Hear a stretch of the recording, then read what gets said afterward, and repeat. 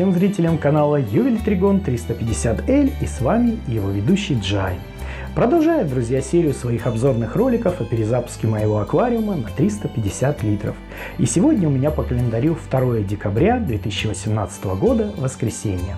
А я решил приехать вот в этот питомник под названием Дискус 1, который, как вы видите, находится в районе Южная Бутово Москвы за МКАДом. Э, сегодня у меня цель простая. Я хочу купить для своего аквариума несколько дискусов подростков э, примерно 6 месяцев, как получится.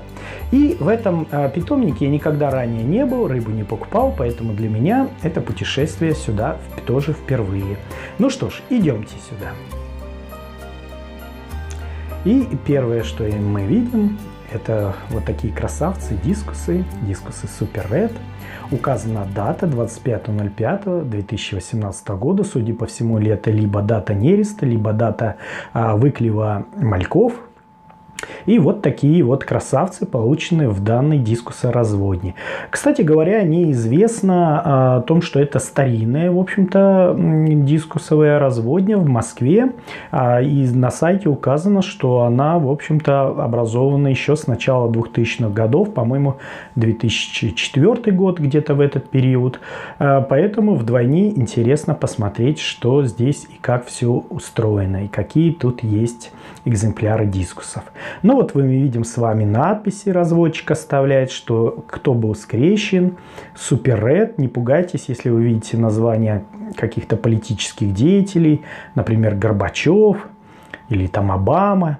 Это просто-напросто название производителя. Да? То есть вот дискус, который непосредственно стоял на нересте, от которого получены эти, а, эти сначала мальки и, соответственно, подростки уже. Вот и разводчик решил так для идентификации их называть именами политических деятелей. Ну, почему бы и нет. Судя по всему, э, Горбачев достаточно плодовитый в данной разводне товарищ. А, ну, вот мы видим разные варианты дискусов. А, если я не ошибаюсь, э, похоже на туркисов. А, вот. И, кстати говоря, в конце это у нас а, рыбки, вы видите, святая святых, а, нерестовики, стоят производители на нересте. А это непосредственно также вот такой инкубатор, ну, скажем так, а, ясли, где вот, собственно говоря, с мальки и вот подростки двух-трехмесячные питаются. Ну, вот корм похож на артемию. Да, мы видим рыбки вполне активно, его едят. А здесь мы с вами видим совсем мальков в сеточке. Ну и вот посмотрите, какие красавцы вырастают в этой разводне. Очень-очень красивая форма. А, ну, змеиная, я так понимаю. А, snake skin. А вот очень красивые. Ну, вот эти похожи на Red Melonов. А, красные дыни, да, да, это они. А, вот, вот леопардовые дискусы.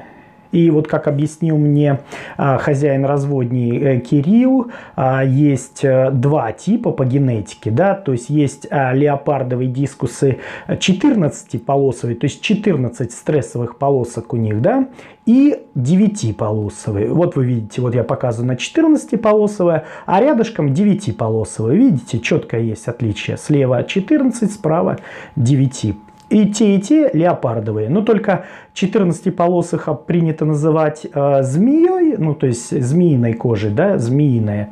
Э, леопард, э, snake skin. А 9-полосами просто леопардовые. Вот, мне они очень понравились. И вы видите, что некоторые дискусы участвовали в конкурсах, есть даже занимали призовые места. А, если я не ошибаюсь, это достаточно известное дискус-шоу, которое проходит в Германии. Ну, ранее проходило. Ну, вот вы видим Горбачев у нас здесь.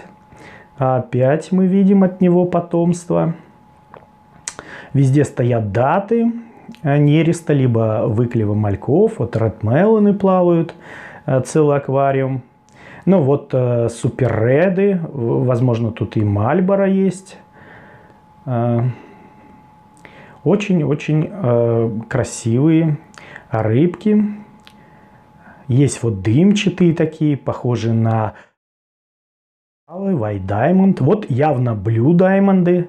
Да, вот White Diamond светленькие, хотя здесь камера передает их как персиковые. Вообще они э, белого цвета White Diamond классические. Ну, я думаю, это просто камера так передает. А рядом Blue Diamond, видите? А, и вот видите, что смешение туркиса с мозаиком вельветом, какой-то еще вариант. Интересно. А, вот такая дискуса разводня, насколько я знаю, если я не ошибаюсь, 35 тонн. И вот мы видим э, приз за второе место в дискус-шоу за, насколько я знаю, леопардового дискуса получила это разводня. Ну что ж, друзья, э, я вернулся из этой разводни в свой дом и вот показываю, что мне понадобится для адаптации приобретенных мною дискусов. Каких дискусов я покажу вам дальше. Значит, портативная батарейка, это портативный компрессор на, на батарейках, а далее ножницы для разрезания пакета, далее мелофикс, чтобы немножко полечить дискусов от каких-то травм при транспортировке и, собственно говоря, термометр. И вот показываю, что я выключил верхний свет, а, потому что я привык адаптировать дискусы дискусов э, в такой достаточно э, темноте. Вот поэтому выключаю свет и, собственно говоря, провожу эти процедуры. Э, не обижайтесь, немножко качество, да не немножко, а прилично качество видео ухудшится и ухудшилось. Но что делать? Все-таки вот я как-то привык уже по этой методике, много раз проводил, интересная надпись на пакете с газетой «Въезжаем». Видите, как символично совпало. А, вот. Ну, я привык проводить вот такие танцы с бубнами. А, на самом деле, в действительности, а, каждый дискуссовод у него своя методика адаптации рыбок.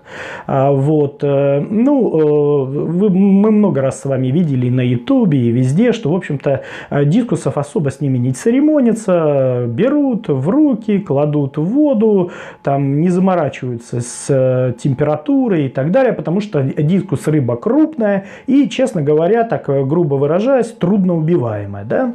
А вот. Но я вот э, как-то уже по традиции, у меня есть определенный алгоритм адаптации дискусов, я делаю вот таким образом. Кстати говоря, конкретно мои правила адаптации дискусов я подробно изложу в конце роликов, и каждый сможет их э, почитать, посмотреть для себя, нажав на паузу, соответственно.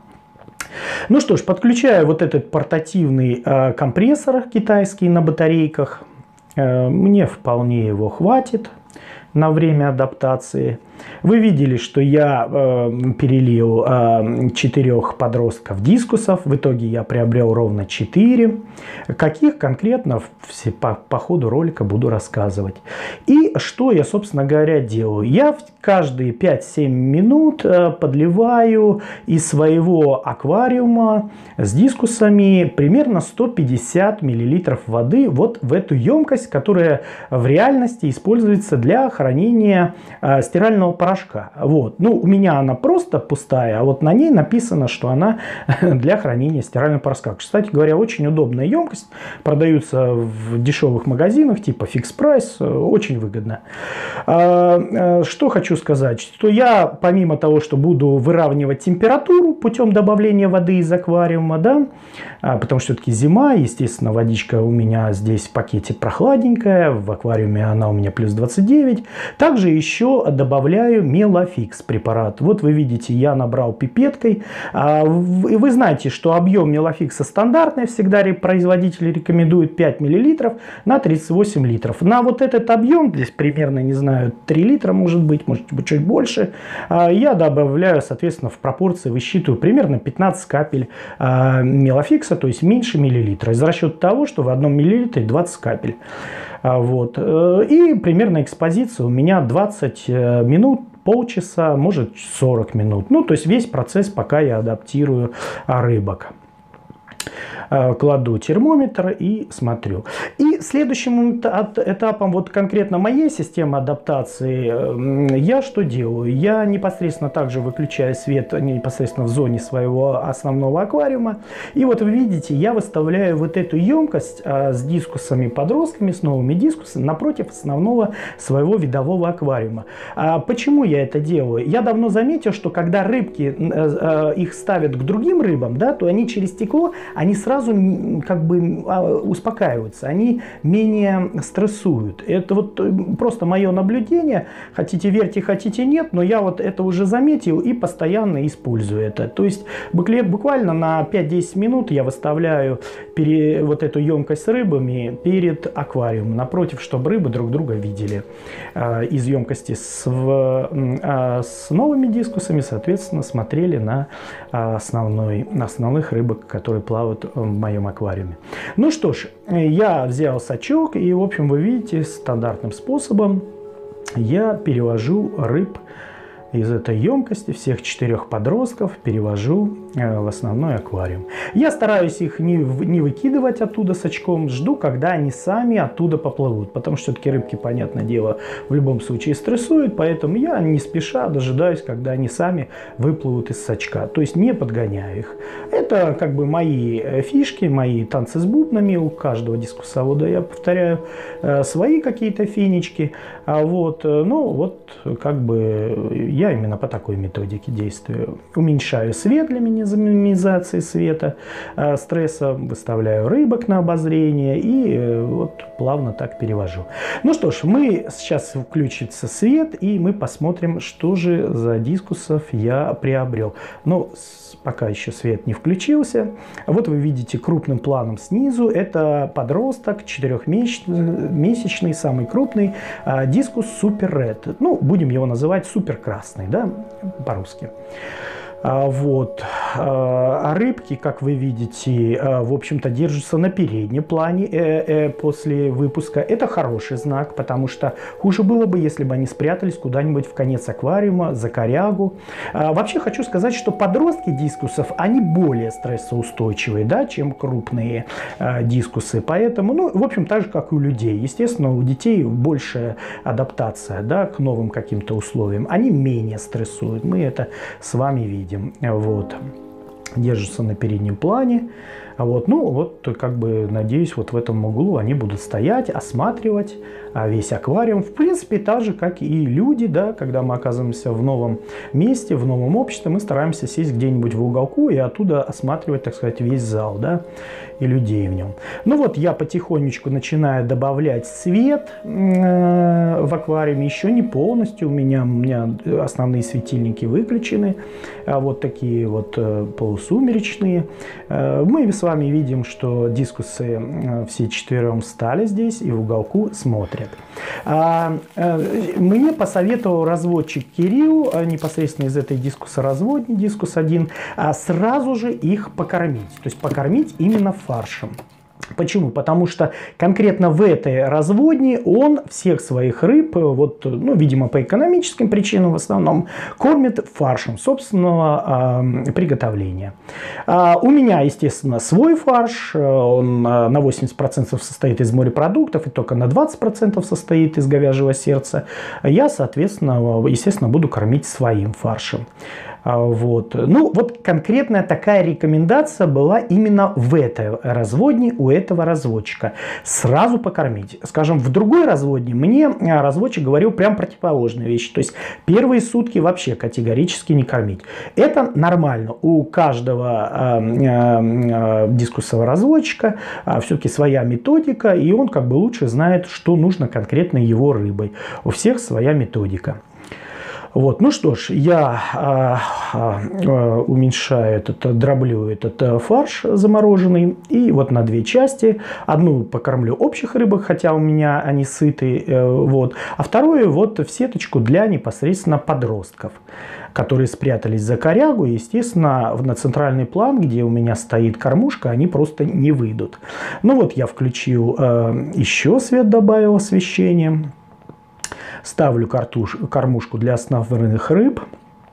Ну, пока рыбы не особо на нее реагируют, потому что они сытые, и вообще время уже позднее, э, по-моему, в районе 11 часов вечера. И вот э, к малышам я стараюсь как-то подтянуть а, свой фарш. И, в общем-то, пока вот э, не особо получается у меня. Но что делать? Делаю как могу. Пытаюсь к ним этот фарш подвести. Заодно выгоняю их из этого уютного уголка. Ну, как мы видим, в общем-то, малыши остались достаточно индифферентны а, к моему фаршу, особо его, так сказать, а, не едят вообще. Но посмотрим, все-таки какие-то кусочки упали в их зону, может быть, они и покушают его хотя бы э, с грунта. Итак, что мы видим с вами? Вот они стоят, снизу стоит супер красный. Вот он, вот он, видите, пытается делать первые поклевки, несмотря на определенный испуг. Все-таки пытается что-то делать. Другие малыши вы видите. А другой оранжевый у меня такой э, ближе к желтому, да, это red melon, то есть э, красная дыня по-русски, да, если перевести эти торговые названия видов дискусов. Вот. А с э, светленькими дискусами мы разобрались.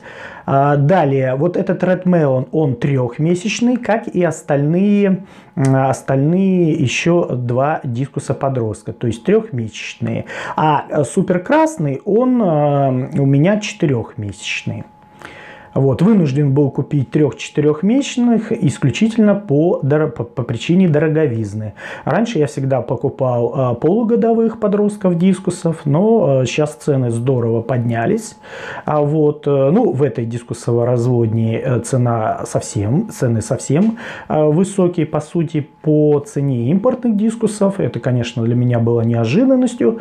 Но что делать? Данная разводня позиционирует себя как лучшая разводня на сегодня сегодняшний день а, в Москве. И, и надеюсь, что их дискусы будут действительно великолепны. А, поэтому, как говорится, лучше заплатить подороже, но быть уверенными, что все в порядке. Ну что ж, у меня наступил а, следующий а, день это э, утро сейчас у меня. И а, я решил стандартно по утрам я чередую э, свежий корм для всех своих рыбок в аквариуме. В данном случае сегодня я буду кормить каретрой. Вот, то есть это у меня 3 декабря, утро следующего дня. И я добавляю каретру, промываю ее и далее добавляю в аквариум. Ну, вы видите, на каретру реакция совсем другая. Рыбки проголодали за ночь, прекрасно ее едят. Э, активность хорошая рыб. Вот, каретру все любят, с удовольствием едят абсолютно вся группа рыб в моем аквариуме. А, ну вот поснимаю малышей, вы видите, что Red Melon здесь, и вот два леопардовых дискусов. Один 14-полосый, другой 9-полосый. А, вот. Ну вот они делают первые поклевки, я очень рад. Первые поклевки каретрой. А на заднем плане вот сейчас я снимаю супер красного. Вот он, супер красный, супер ред. Тоже клюет каретру. А, вот. Э, и тут такой нюанс. Следующее мое кормление – кормление Артемии. А в этой разводне я разговаривал с разводчиком Кирилловым, я задал много полезных и нужных вопросов, но вот, к сожалению, не узнал его схему кормления, кроме одной информации, что а, он все время кормит фаршем. А, и вот, к сожалению, я на, этот, на, этот, на эту фразу, видимо, как-то плохо акцентировал свое внимание, поэтому я спокойным сердцем продолжаю кормить рыб разными видами а, свежего корма. Ну вот в частности сейчас кормлю Артемий. Так прошло три дня такой идиллии, а потом случилось вот это.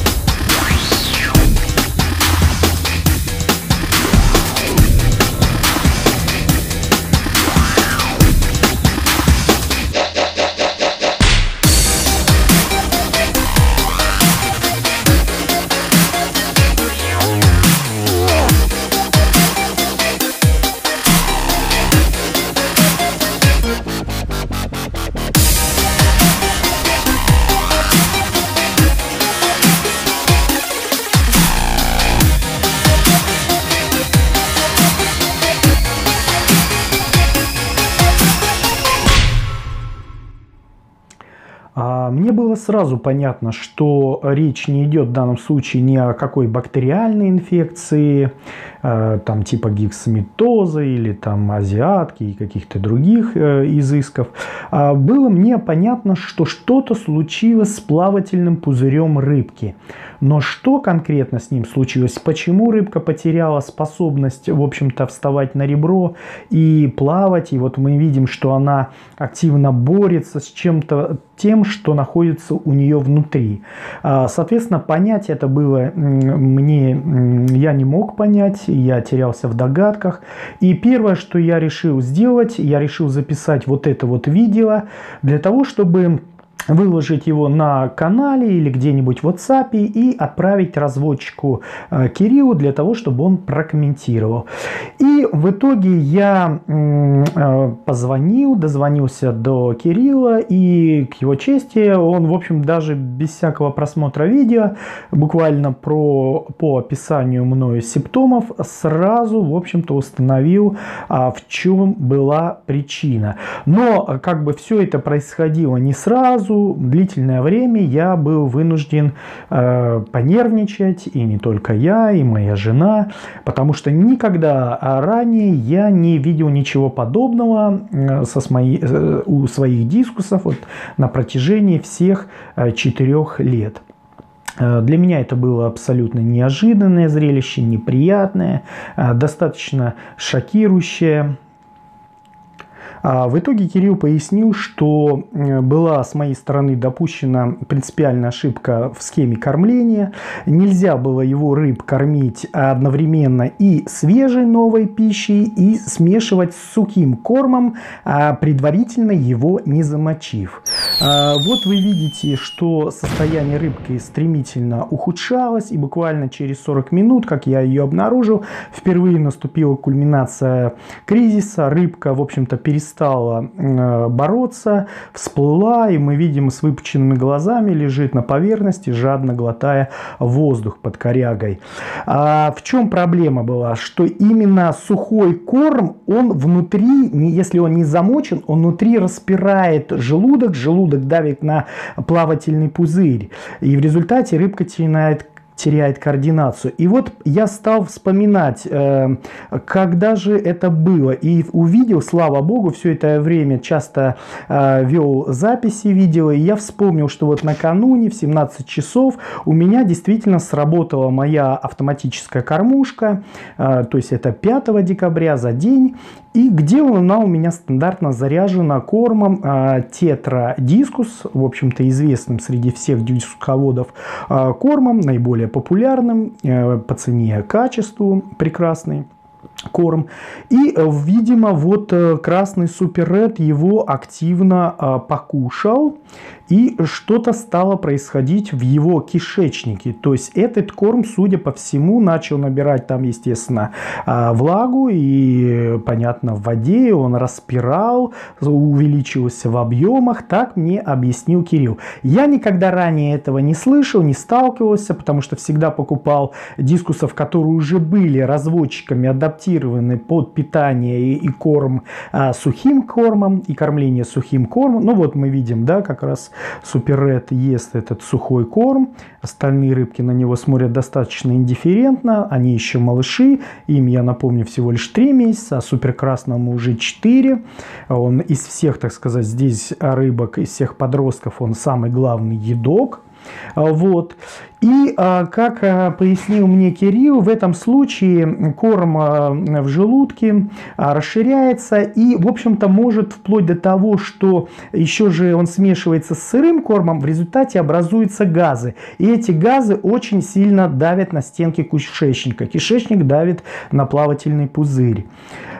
И, соответственно, вот я еще продолжаю показывать вам этот момент, когда сработала кормушка. А, в общем-то, рыбки едят, и, и, я так понимаю, не только суперкрасный ел, но проблема произошла именно вот с ним, суперкрасным. То есть э, сочетание сухого корма, который предварительно был э, не замочен хотя бы на 5 минут, и плюс э, свежий корм типа каретры, артемий могут образовывать такую э, взрывоопасную смесь, э, как бы, которая для желудка, для кишечника рыбы очень опасна. То есть образуются газы, могут закрыться отверстия, э, чтобы эти газы могли выйти естественным образом, и рыбка по сути начинает начинает быть таким вот а, воздушным шариком, да, она не может нормально плавать. И вот накануне я также снял эпизод, э, буквально вы видите, 11 часов вечера, 5 а, декабря, у меня супер красный активно ест вот эти таблетки для самов. Они тоже сухой корм, и они, естественно, не замочены, ну, потому что, честно говоря, за 4 года я вообще ни разу не замачивал корм, такой нужды, я повторяю, у меня не было, все мои э, подростки дискусы были уже адаптированы под сухой корм. И вот, к сожалению, в данной разводне я на этот момент не обратил внимания и действовал автоматически. И я решил тогда провести эксперимент. Взял свой стандартный корм Тетрадискус, ну, вот мы видим, да, он гранулированный, прекрасный корм. Все дискусоводы подтвердят, что это один из лучших а, кормов для дискусов. Питательный, в нем много полезных элементов, витамины, и все тут в нем есть. И вот я, вы видите, я взял две специально стандартные э, гранулы одинакового размера и решил э, положить их рядом э, со шкалой линейки для того, чтобы мы с вами увидели, что они одинаковые.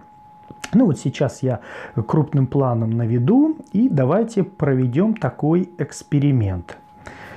Так, вот снимаю крупным планом, показываю, что примерно каждая гранула где-то 2 мм в длину и примерно там полтора, наверное, миллиметра в высоту, ну или один миллиметр в высоту, как вот кому больше нравится. Но то, что они одинаковые, принципиальный момент, да, по длине и высоте, ширине.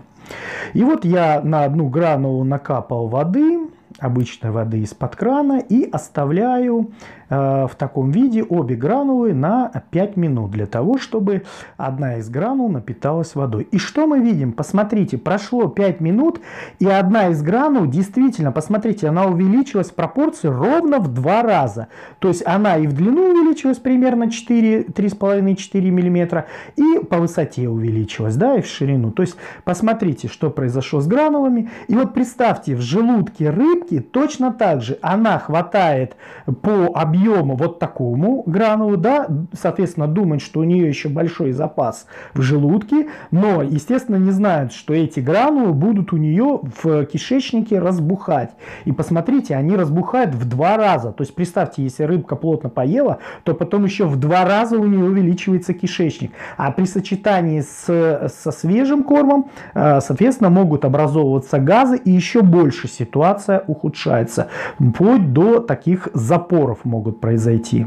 И вот вы видите, э, мне казалось, что уже ничем нельзя помочь рыбке, ситуация близка к летальной, но э, рыба-то, слава богу, этот подросток так не решил, он решил продолжать бороться за свою жизнь, то есть он пока был наверху, пока он заглатывал воздух, э, лежал такой, казалось бы, в предсмертной агонии, он набрался сил и опять начал бороться. То есть что он делает? Он как бы за счет вот движениями мышц, он пытается у себя в желудке этот корм как бы ускоренно переварить, который у него в желудке находится.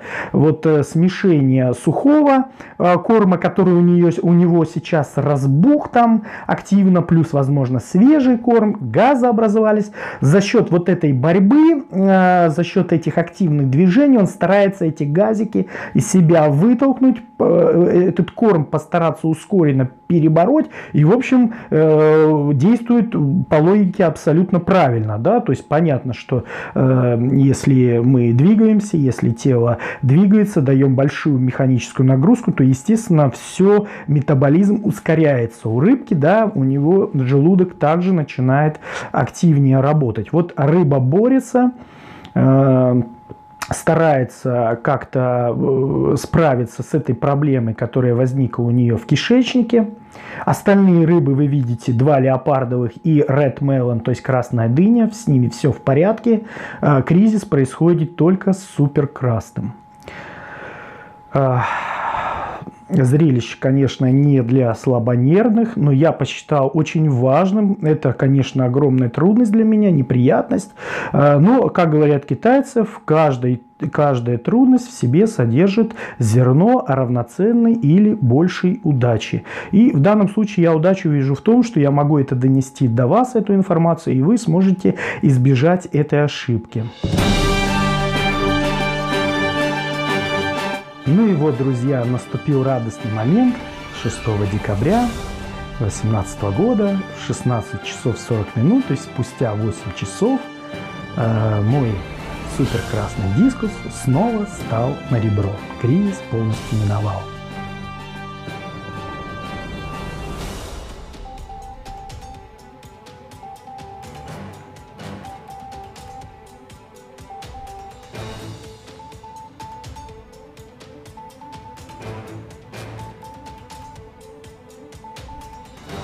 Слава богу, данный кризис прошел, а, рыбка вновь встала на ребро и, как вы видите, активно принялась а, за поиски еды. Я очень рад этому факту. У меня, конечно, от сердца отлегло, у жены отлегло от сердца. В общем, здорово, как хорошо, что когда все хорошо, что хорошо кончается. А, ну, история весьма поучительная. А, уверен, что будет полезно для всех зрителей моего канала. А, очень надеюсь, что вы посмотрев это видео, естественно, эту ошибку избежите. Ну и для тех, кому интересно, я далее вывожу правила адаптации дискусов, которые конкретно я применяю. Вообще хочу сказать, что э, наш рынок пока недостаточно цивилизован. К сожалению, ни один разводчик, ни один, ни в одном питомнике не выдается покупателям памятка для по адаптации конкретно их дискусов. Это, конечно, большая ошибка. А вот, если бы у меня была своя разводня, я, естественно, своим бы покупателям такую памятку выдавал бы. Ну вот мы с вами видим 23 часа а с дискусом суперкрасным, все в порядке. И э, теперь самое время мне заняться следующим э, большим важным этапом – прокачать, простимулировать рост моих растений. Собственно, и об этом будет, надеюсь, следующая часть. Ну что ж, я вам с вами откланяюсь. Всем пока-пока и удачи!